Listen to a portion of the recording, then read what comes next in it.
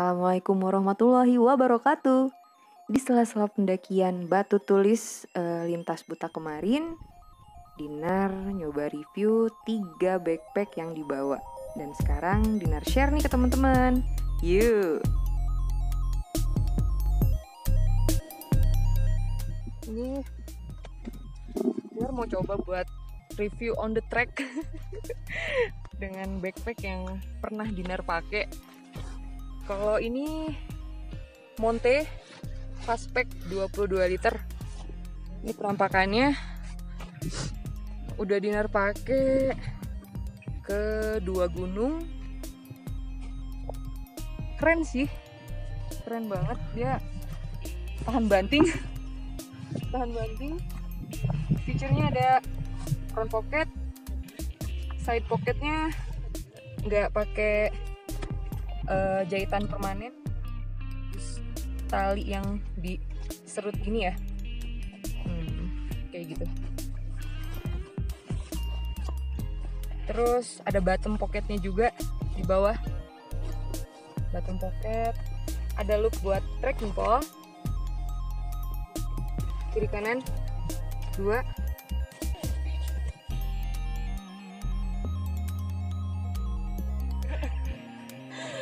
ya. Terus nah yang dinner kurang nyaman pakai fastpack Monte 22 liter ini dia dari shoulder strapnya karena menurut dinner padnya itu kerasa keras banget dan lebar. Tuh di sini kelihatan kan? Kalau di pundak dinner ya kayaknya kayaknya lebar banget dan gak nyaman. Kelebaran ada solder pocketnya juga kiri kanan. Tuh. Rata-rata udah pada pakai roll top uh, roll top system ya. Clip roll top tapi dia kencengnya pakai karet. Ini Monte Fastpack 22 liter. Nah kalau yang ini ada di SR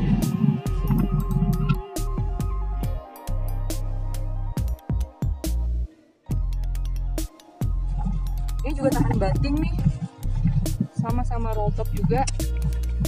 Pakai clip. Ini. Untuk tutupnya dia ada masih ada buckle. Gitu.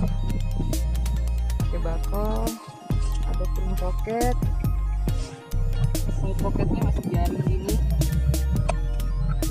Ada loop buat trekking pole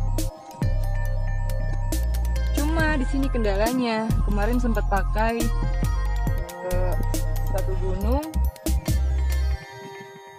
Dia kekurangannya di shoulder strapnya. Jahitannya itu kurang kuat. Ini kemarin sempat lepas juga yang sebelah kiri jahitan bagian shoulder ini. Ya dia lepas sampai ke sini juga lepas. Ini udah dinar perbaiki. Dinar jahit dia ada hip beltnya nah ya? Ada hip belt ada yang buat di dadanya juga ada. Tapi ini keren sih kalau dari material. Muat banyak juga. Dan tahan banting juga lumayan. Nyaman sih. Di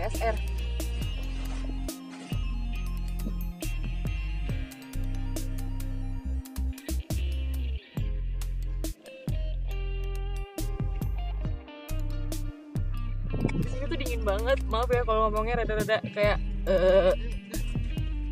jadi kalau penilaiannya sih dua-duanya tahan banting kalau dari material. Cuma kalau dari waterproof dia belum terlalu waterproof ya masih rembes dua-duanya sama.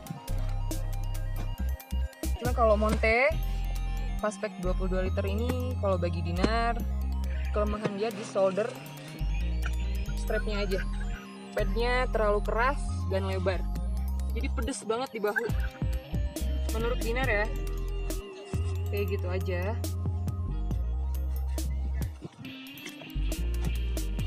Kalau yang YSR ini keren.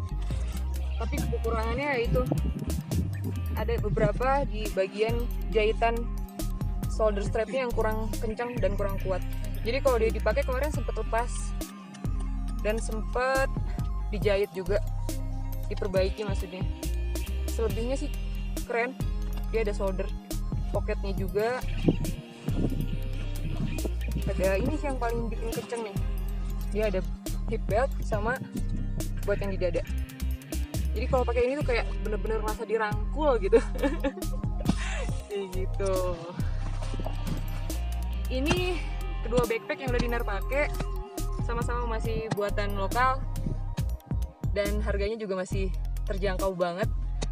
Cuman balik lagi ke selera masing-masing karena memang kalau pakai backpack bisa di review itu ketika uh, nyoba dipakai di lapangan ya. Dengan base weight yang mungkin kemarin nggak sampai 5 kilo semua rata-rata dinar pakai masih di 4,2 ini masih dipakai di 4 kilo pas.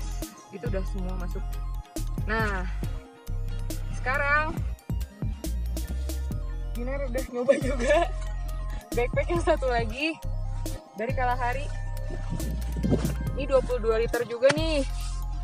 22 liter juga. Bahannya beda dari yang kedua ini. Ya bahannya seal nilon pakai grid stop salah ngomong ya? Semoga bener. Dia roll top system juga. Ada clip dan ada pengencangnya. Ada bakelnya tapi bakelnya dibuat kayak panjang sebelah gitu. Ya kan? Yang ini pendek yang ini panjang kan kayak gitu. Karena bahannya seal nilon. Jadi kalau yang suka naik gunung sama yang ngerokok harus jauh-jauh. Ngeri kebakar. Tapi buat waterproofnya oke okay lah. Sempat dipakai dan memang nggak rembes sama sekali.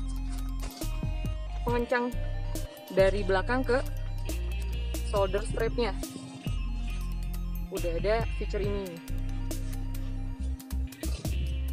Dia nggak ada belt yang buat di dada cuma ada hip beltnya aja. Di bagian bawah. Gitu. Nah yang bikin backpack ini rada kurang gemesin karena dia front pocketnya yang menyatu sama side pocket. Jadi kalau dibuka lebih kayak setengah lingkaran gitu. Kayak gini contohnya. Tuh. Jadi antara front pocket sama side pocketnya tuh. Jadi kalau simpen minuman atau simpen apa dia nggak benar-benar bisa nyamping banget. Pasti nyambung ke depan. Kayak gitu. Dan buat pengencangnya juga dia perlu pakai tali tambahan kayak gini. Banyak yang bilang ribet tapi bagi dinner enggak sih? Enak banget malah. Nyaman banget ini. Gitu tuh. Jadi front pocket sama side pocketnya nyatu. Muat banyak loh. Segala dia masukin ke sini muat banyak banget. Kayak gitu. Dari Kalahari cakep sih. Oke keren. Ada mana ya? Oh ya setelah di roll gini dia juga ada kayak pengencang banget yang nyatu sama front pocket. Kayak pakai buckle ditarik. Nah kayak gitu. Keren keren keren keren keren. Itu aja. Itu aja yang bisa Dinar sampein kayaknya ya. Dari ketiga backpack ini yang udah Dinar pakai. Dari pertama YSR ke Monte Fastback sama sekarang terakhir Kalahari yang 22 liter. Siapa tahu aja ada maker lokal yang mau ingin Dinar buat review gitu. Oke okay lah keren keren keren. Tapi semuanya balik balik lagi ke selera dan kebutuhan mau cari hmm, backpack yang seperti apa gitu. Mau yang berapa liter juga kan sekarang sudah banyak ya. Dari yang 22 sampai yang 40 liter juga ada. Kalau bagi Dinar menurut Dinar kalau mau nyari backpack coba pakai atau pinjam dulu punya temen. Nyaman atau enggak kayak gitu. Oke gitu aja dulu review on the track. Sekilas dulu. Siapa tahu mau cari backpack backpack yang masih 22 literan. Ini bisa jadi referensi sih. Monte sama Kalahari ini. Dua-duanya keren masing-masing punya plus dan minus. Sih gitu. Tapi teman-teman boleh kayak lihat-lihat reviewnya dulu sebelum beli ya. Kalau bisa ya kayak pinjam dulu ke temen nyaman apa enggak. Ya sampai ketemu di review berikutnya. Sekian aja. Assalamualaikum warahmatullahi wabarakatuh